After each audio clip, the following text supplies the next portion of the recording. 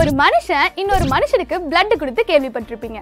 ஆனா ஒரு மனுஷன் சிம்பான்சிக்கோ இல்ல ஒரு சிம்பான்சி மனுஷனுக்கோ பிளட் கொடுக்க முடியுமா?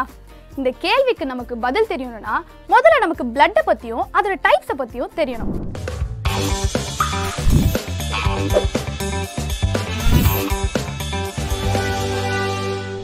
இப்போ அடிபட்டா நமக்கு பிளட் வருதுன்னு சொல்றோம். அப்படி இந்த பிளட்ல என்னதான் இருக்கும்னு பார்த்தீங்கன்னா ஆர்பிசி டபிள்யூபிசி பிளாஸ்மா பிளேட்லெட்ஸ் நிறைய காம்பனன்ட்ஸ் இருக்கும். என்னதான் இவ்வளோ காம்பனன்ட்ஸ் இருந்தாலும் நம்மளோட பிளட்ல இருக்க ஆர்பிசியை வச்சு தான் பிளட் குரூப்ஸை பிரிக்கிறோம். சரி பிளட் குரூப்ஸை யார் கண்டுபிடிச்சான்னு இப்போ நம்ம பார்க்கலாமா?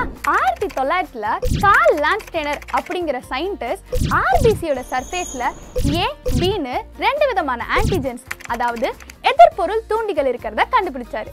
ஸோ இந்த ஆன்டிஜென்ஸ்லாம் ஆர்பிசியோட சர்ஃபேஸில் இருக்கா இல்லையாங்கிறத பொறுத்து தான் பிளட் குரூப்ஸை ஏ பி ஓன்னு மூணாக பிரித்தாங்க இதை தொடர்ந்து ஆயிரத்தி தொள்ளாயிரத்தி ரெண்டில் லான்ஸ்டைனரோட ஸ்டூடெண்ட்ஸான வாண்டி கேஸ்டல்லோ மற்றும் ஸ்டர்லி அப்படிங்கிற சயின்டிஸ்ட் ஏபின்னு இன்னொரு டைப் ஆஃப் பிளட் குரூப் இருக்கிறத கண்டுபிடிச்சாங்க. இப்போ ஏ ஆன்டிஜன் ஆர்பிசி சர்ஃபேஸ் மேல இருந்தா அது ஏ பிளட் குரூப்னும் பி ஆன்டிஜன் இருந்தா அது பி பிளட் குரூப்னும் சொல்றோம்.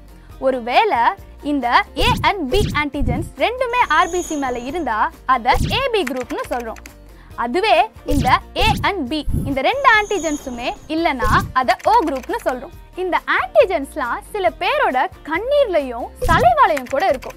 அப்படி இருக்கவங்களை நம்ம செக்ரிட்டார்ஸ் அதாவது சுரப்பாளர்கள்னு சொல்கிறோம் சரி இந்த பிளட் குரூப்ஸ் எல்லாம் எதுக்காக இப்படி பிரிச்சிருக்காங்க? அதுக்கு ஒரு காரணம் இருக்குது ஏன்னா ஒரு ஒரு பிளட் குரூப்பும் வேதிப்பொருள்களின் அடிப்படையில் அதாவது பயோகெமிக்கலி வேறுபட்டிருக்கும். இப்படி வேறுபட்டிருக்க ரெண்டு பொருத்தமில்லாத பிளட் குரூப் சேரும்போது அக்ளூட்டினேஷன் அதாவது ரத்த திருச்சை நடக்கும். இதை தவிர்க்கிறதுக்காக தான் இப்படி பிரிச்சிருக்காங்க. சரி உங்களோட பிளட் குரூப் என்ன? என்னோட பிளட் குரூப் ஏ நம்மளோட பிளட் குரூப் இதுதான் டிசைட் பண்றது யாருன்னு உங்களுக்கு தெரியுமா? நம்மளோட ஜீன்ஸ் தான் அதாவது மரபணு. நைன்டீன் டுவெண்ட்டி ஃபைவ்ல பர்ன்ஸ்டைன் அப்படிங்கிறவர் நம்மளோட நைன்த் குரோமோசோம்ல இருக்க ஐங்கிற ஜீன் தான் நம்மளோட பிளட் குரூப்பை டிசைட் பண்ணுதுன்னு இந்த ஐ ஜீனுக்கு மொத்தம் ஐஏ ஐபி ஐஓன்னு மூணு அலிலிக் ஃபார்ம்ஸ் இருக்குன்னு கண்டுபிடிச்சாரு. என்னதான் ஐ ஜீனுக்கு மூணு அலிலிக் ஃபார்ம்ஸ் இருந்தாலும் ஒரு ஜீனுக்கு ரெண்டு அலில்ஸ் தான் இருக்கும். இதுல ஒரு அலில் அம்மா கிட்ட இருந்தும் இன்னொரு அலில் அப்பா கிட்ட இருந்தும் கிடைக்குது. உதாரணத்துக்கு அம்மாவோட ஜீனோடைப் அதாவது மரபணு வகை ஐகே ஐஏவா இருந்து அப்பாவோட ஜீனோடைப் ஐஓ ஐஓவா இருந்துச்சுன்னா அம்மா கிட்ட இருந்து ஐயேங்கிற அலிலும் அப்பாட்ட இருந்து ஐஓங்கிற அலிலும் சேர்ந்து குழந்தைக்கு ஐகே ஐஓங்கிற ஜீனோடைப் வரும். இந்த மாதிரி அம்மா அப்பா கிட்ட இருந்து எந்த அலில் வருதுன்றத பொறுத்து ஆறு விதமான காம்பினேஷன்ஸ்ல ஜீனோடைப் கிடைக்குது. என்னதான் ஆறு விதமான ஜீனோடைப் இருந்தாலும் நாலு விதமான பிளட் குரூப் தான் கிடைக்கும். ஏன்னா இதுக்கு காரணம் இந்த ஜீனோடைப்ல இருக்க ஒரு அலில் டாமினண்டா அதாவது ஓங்கு தன்மையாகவும் இன்னொரு அலில் ரெசசிவா அதாவது ஒடுங்கிய தன்மை உடையதாகவும் இருக்கிறதுனால தான் இதுல எப்பவுமே இந்த ஐஏ அண்ட் ஐபி அலில்ஸ் டாமினண்டா தான் இருக்கும். ஐஓன்ற அலில் ரெசசிவா இருக்கும். உதாரணத்துக்கு ஐஏ ஐஓ ஜீனோடைப் இருந்துச்சுன்னா ஏ பிளட் குரூப் தான் வரும். ஏன்னா இதுல ஐஏ ஐஓவை விட டாமினண்டா இருக்கு. இப்போ ஐஓ ஐஓ ஜீனோ டைப்பில் ரெண்டு அலில்ஸுமே ரெசசிவா இருக்கிறதுனால ஓ பிளட் குரூப் கிடைக்குது. இதுல ஸ்பெஷல் கேஸ் என்னன்னா ஐஏ ஐபி இதுல ரெண்டுமே டாமினண்ட்டாக இருக்கும். இதை தான் கோ டாமினன்ஸ் அதாவது இணை ஓங்கு தன்மைன்னு சொல்றோம். இதனால் ரெண்டுமே சேர்ந்து ஏபின்ற பிளட் குரூப்பை ஃபார்ம் பண்ணுது.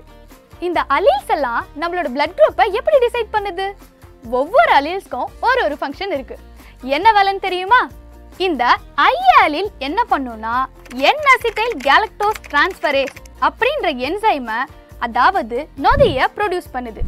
இந்த enzyme N acetyl galactose amine அதாவது ஏ ஆன்டிஜனை ஆர்பிசி சர்ஃபேஸில் இருக்க எச் சப்ஸ்டன்ஸோட சேர்க்குது இதே மாதிரி தான் இந்த ஐபி அலில் கேலக்டோஸ் டிரான்ஸ்பரேஸ் என்சைமை ப்ரொடியூஸ் பண்ணி கேலக்டோஸை அதாவது டி ஆன்டிஜனை ஆர்பிசி மேலே இருக்க எச் சப்ஸ்டன்ஸோட சேர்க்குது.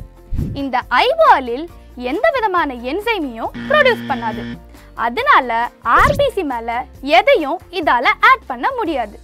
இதனால தான் ஐஓ அலில நல்லலில் அதாவது வெற்று அலில்னு சொல்றோம். இப்படி தான் நம்ம பிளட் குரூப் டிசைட் ஆகுது. சரி இப்போ அந்த சிம்பான்சி கதைக்கு வருவோம். எப்படி நம்ம பிளட்ல ஆன்டிஜென்ஸ் இருக்கோ அதே மாதிரி சிம்பான்சியோட பிளட்லயும் சிமிலர் ஆன்டிஜென்ஸ் இருக்கு. ஸோ தியரட்டிக்கலி நம்ம சிம்பான்சிக்கோ இல்லை சிம்பான்சி நமக்கோ பிளட்டை கொடுக்க முடியும். இவ்வளோ ஏன் ஷீப்பு பிக்கோட பிளட்டை கூட செவன்டீன்த் செஞ்சுரியில் மனுஷங்களுக்கு ட்ரான்ஸ்ஃபர் பண்ணிட்டு இருந்தாங்க. அது சக்ஸஸும் ஆச்சு. ஆனாலும் அதே சமயம் இதில் ப்ராக்டிக்கல் இஷ்யூஸும் வரலாம். ஸோ நம்ம நடைமுறையில் இதை பின்பற்றுறது இல்லை. இப்போ உங்களுக்கு ஏபிஓ பிளட் குரூப்பிங் பற்றி எல்லாம் ஈஸியாக புரிஞ்சிருக்கும்னு நினைக்கிறேன். ஸோ நான் உங்களை அடுத்த வீடியோவில் வந்து பார்க்குறேன். டாட்டா பாய் பாய்